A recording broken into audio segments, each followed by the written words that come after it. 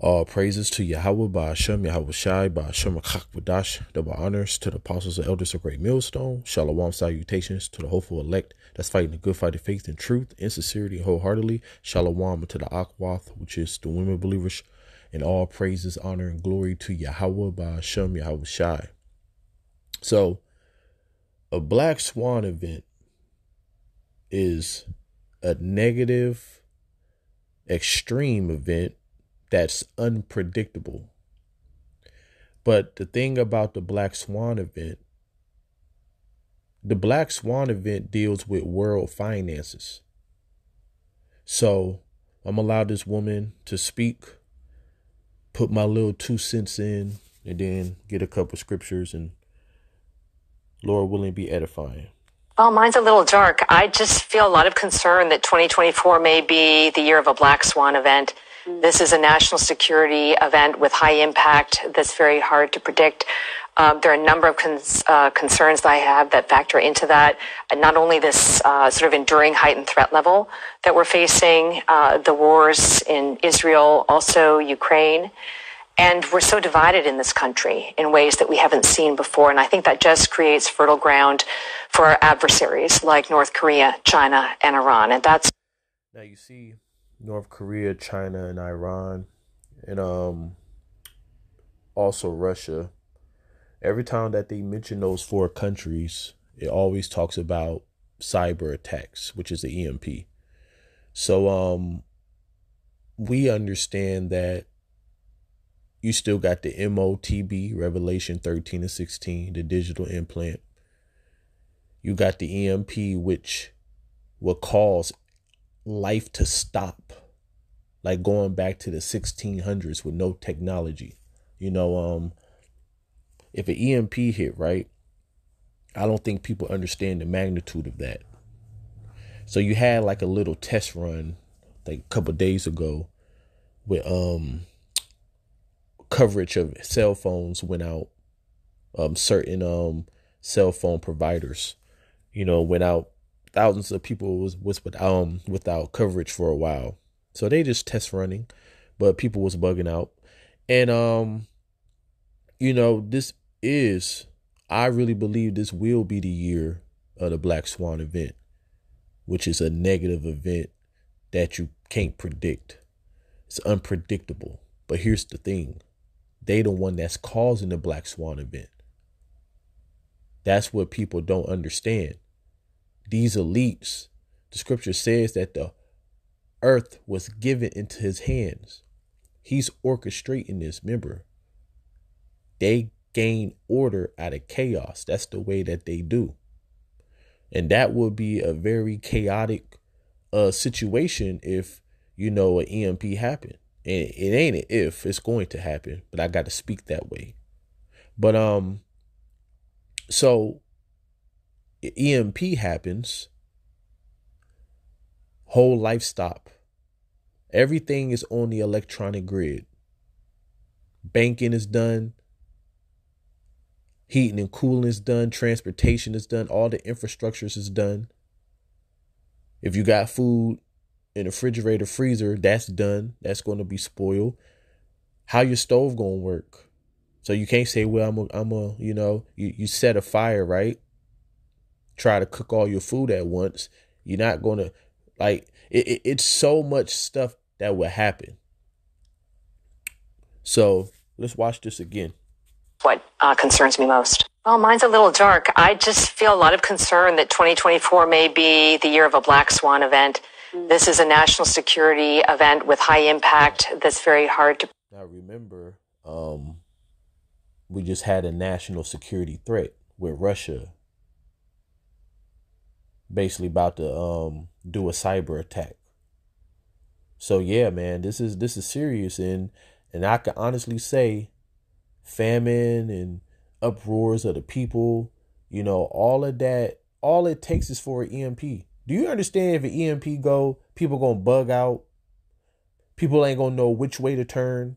Because if you don't have Yahweh Bashim Yahweh Shai, you're through. So people are going to take matters into their own hands. Americans can't even not eat for two hours. So imagine a whole day. Imagine a whole day without internet, without lights, you know? And it's not going to last a day. Like all the people, all the insiders, because these are insiders who be making these videos. How the hell they know this, right? So these insiders are always talking about three months to nine months.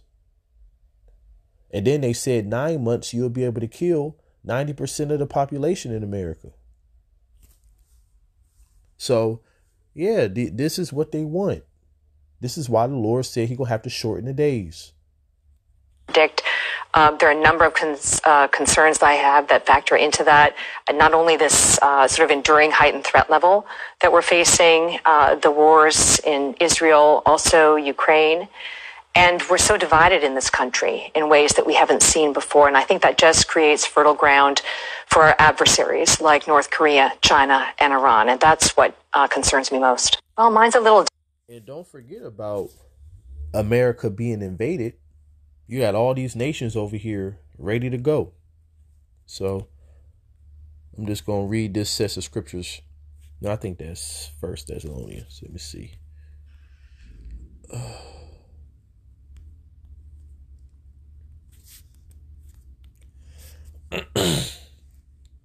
So it said, But at the times and seasons, brethren, you have no need that I write unto you, because we've been telling you for a long time, especially our apostles and elders, that you know these things will come to pass. Chaos, confusion, famine, civil wars, you know, class wars, all of that is going to happen. And it said, For you, for yourselves, know perfectly that the day of the Lord shall come as a thief in the night. Says we it won't come as a thief in the night unto us but it will come as a thief in the night unto the rest of the inhabitants of the world. For when they shall say peace and safety, then sudden destruction cometh upon them as a travail upon a woman with child, and they shall not escape. Because what do the news do? The news always give you a sense of security and peace. They did it with the serpent oil that people had to take. You know, so they they did a hell of an advertising you know, for the serpent oil and how it was going to help you. So, guess what? That was peace and safety right there. And every time, you know, they always, like, even with the national security threat, if you watch my video, you had news clips talking about, don't worry, we got it under control. The people don't need to worry. And as the scripture says, then sudden destruction coming. You can't believe the devil. But ye, brethren, not in darkness, that the day should overtake you as a thief. Ye are the children of light and the children of the day. We are not of the night nor of darkness. And, you know, I really love this. You know, Satan, and, I, and I'm pretty sure I could speak for most brothers. So, like, the scriptures is repetitive, prophecies is uh, repetitive. So Satan tried to get into your mind like, I don't even want to do it. I'm tired of repeating myself. I'm tired of you know, basically making the same kind of videos, stuff like that. So, you know, Satan would attack your mind that way. But guess what? These things have to go out because the Lord is making sure that people are without excuse.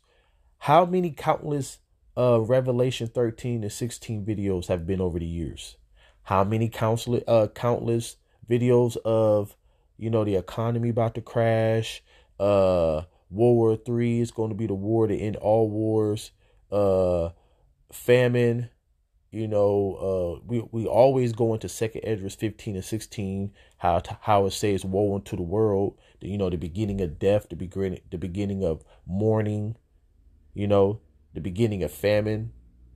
You know, so these things are repetitive, but you can't say you're tired of it because when these things hit, if you are a man or a woman who are able to receive this word, now you took heed to it. Now you know what to do. Now you know how to escape that time.